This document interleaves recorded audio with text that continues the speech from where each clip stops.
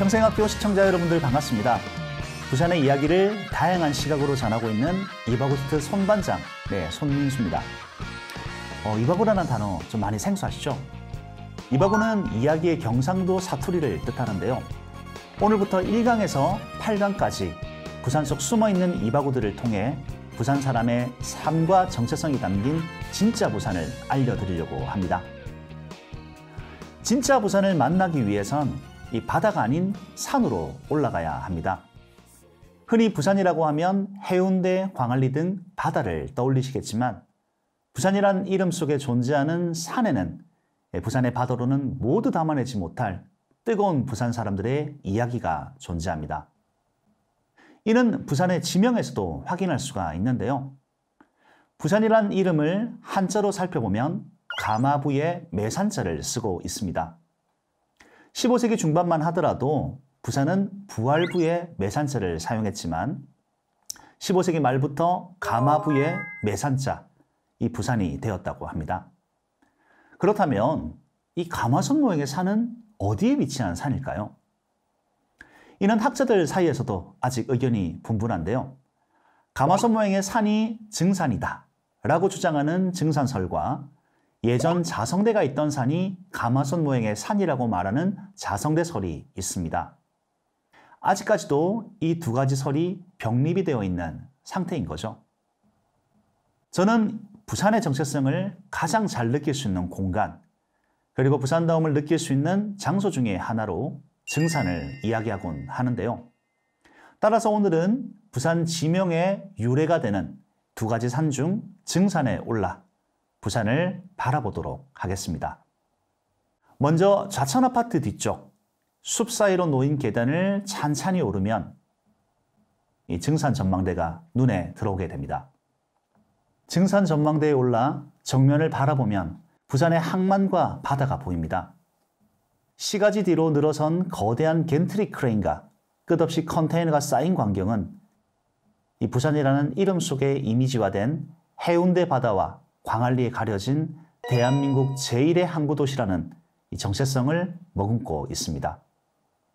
전망대 오른쪽에는 용두산, 부산역, 중앙공원 등 이 주요 거점과 원도심의 모습이 전망대 뒤편으로는 쭉 늘어선 산과 함께 집들이 빽빽하게 들어선 마을이 보입니다.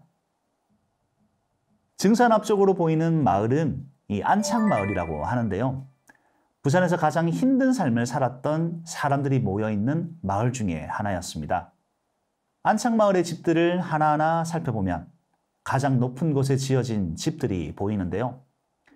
지붕과 산이 맞닿는 부분을 왼쪽에서 오른쪽으로 이어보면 정확하게 같은 높이로 산 중턱까지 집들이 이어져 있는 그런 모습들을 확인할 수가 있습니다. 산 중턱까지 빼곡하게 채운 집들 속에는 지금까지 몰랐던 진짜 부산의 모습이 보이게 됩니다. 부산의 의미는 평화롭고 아름다운 바다 풍경 속에도 존재하지만 힘든 상황 속에서도 희망을 잃지 않고 늘 일어서기를 반복하고 있는 산동네 속 사람들의 삶 속에 진짜 부산의 의미가 존재한다는 것이죠. 이렇듯 증산은 이 관광적 측면인 바다와 인문학적 측면을 머금고 있는 동시에 부산의 과거와 현재와 미래를 담은 공간이기도 합니다. 증산의 정상에 서서 이 주변을 찬찬히 둘러보면 산동네를 잇는 도로를 확인할 수가 있는데요. 이 도로가 바로 산복도로입니다. 산복도로는 매산자의 배복자를 합친 말로 산의 허리를 내어 만든 산의 배부분에 만들어진 도로를 뜻합니다. 도심이 아닌 산복도로 마을에서 삶을 살았던 사람들은 이 가난을 마주하면서도 삶을 이어나가겠다는 의지가 가득했습니다.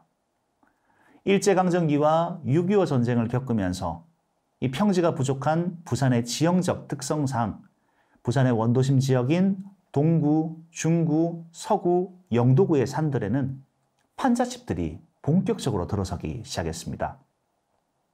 전쟁이 끝난 뒤에는 신발, 섬유, 봉제, 합판까지 부산의 경공업이 발전하며 가난한 도시 노동자들에 의해 원도심의 산에 또 한 번 판자집들이 가득 형성이 되게 되었는데요. 산복도로 속 마을은 여러 가지 사정에 의해 부산에서 삶을 이어나가야만 했던 사람들에게는 지형적 특성상 어쩔 수 없는 선택지였습니다. 우후죽순처럼 늘어나 빼곡하게 들어선 산동네 판자집들 사이로 산동네와 산동네를 가로지르는 산복도로 공사가 1962년에 시작되어 1964년 10월 첫 번째 산복도로가 탄생하게 되었습니다. 이는 중구 대청동 메리놀 병원 앞에서 동구 범곡 사거리까지 1820m 구간에 걸친 망향로 산복도로이며 이후 부산의 곳곳에 산복도로가 들어섰고 이렇게 부산은 산복도로의 도시가 되었습니다.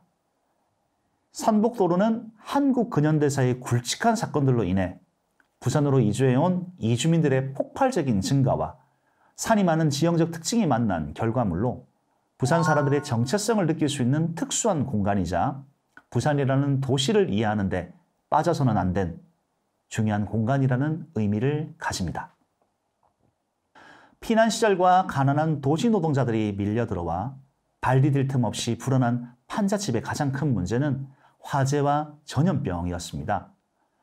집을 짓는 재료가 판자와 종이 그리고 박스 종이에 콜타르를 바른 이 루핑지였던 만큼 화재에 취약한 구조였으며 위생 문제도 심각했습니다. 이후 새로운 주거지로 탈바꿈하는 과정에서 판자집들이 철거되며 난민주택, 자조주택이란 이름으로 새로운 신식 집들이 들어서게 되었고 이 삼터가 산복도로였던 사람들은 살기 위해 또다시 산복에 집을 짓고 버티게 되었습니다. 현재도 산복도로 위에는 이분들의 삶이 이어지고 있습니다. 범일동 산복도로, 수정동 산복도로, 초량동 산복도로, 영주동 산복도로 속 산동네 마을이 존재하고 그리고 산복도로를 찬찬히 살펴보면 이 속에 아파트들이 있다는 것도 알 수가 있는데요. 산복도로 속 한 아파트, 아찔한 경사를 자랑하는 계단 끝에 아주 오래된 아파트가 우리를 내려다보고 있습니다. 자천동에 있는 경사형 엘리베이터를 타고 산 위로 올라가면 자천 아파트라는 아주 오래된 아파트가 존재하는데요. 그 속에는 공장을 다니던 그 시절 청춘들이 나이가 지긋한 어른이 되어 이 산복도로 속 부산을 바라보고 있습니다. 오랜 시간 동안 낡고 변형되어 금이 가고 페인트가 벗겨진 외관 탓에 낙후된 지역이라는 인식이 있지만 희망이라는 이름으로 지금까지 버텨왔던 우리 부산 사람들의 힘을 느낄 수 있는 공간이라 생각합니다. 다시 말해 산복도로는 부산 사람들의 삶의 역사와 가치와 정체성이 존재하는 보물과도 같은 장소가 되는 것이죠. 오직 산복도로에서만 만나볼 수 있는 이색적인 풍경도 존재하는데요. 바로 옥상 주차장입니다.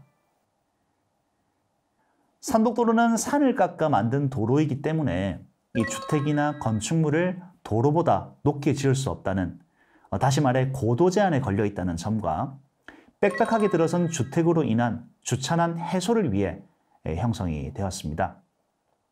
따라서 산복도로와 연결되는 주택의 옥상은 주차장으로 활용이 되고 있으며 머리 위, 집 바로 위에 주차를 하게 되는 것입니다.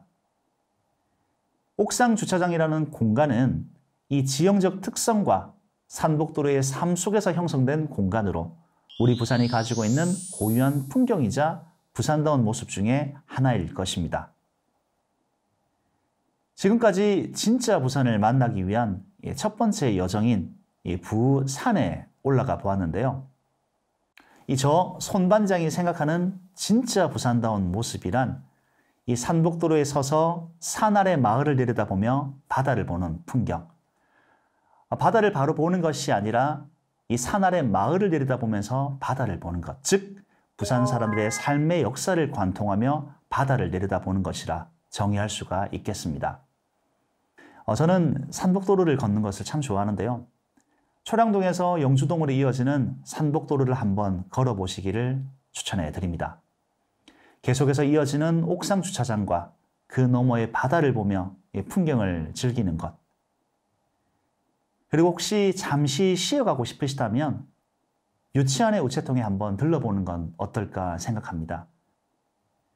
1년 뒤에 받아볼 수 있는 느린 우체통 속에 편지를 넣어보기도 하고 그리고 이 망향로 산복도로 전시관에 들러 풍경만으로는 알기 힘든 산복도로 속의 이야기들을 확인하기도 하면서 진짜 부산을 그리고 부산 사람들의 삶을 한번 느껴보시는 건 어떨까요? 다음 시간에는 관광지로 유명한 감천 문화마을을 통해 또 다른 시각으로 산복도로를 바라보는 시간을 가져보도록 하겠습니다. 지금까지 EBS 평생학교 진짜 부산을 만나다 저는 이바구스트 손반장의 손민수였습니다. 감사합니다.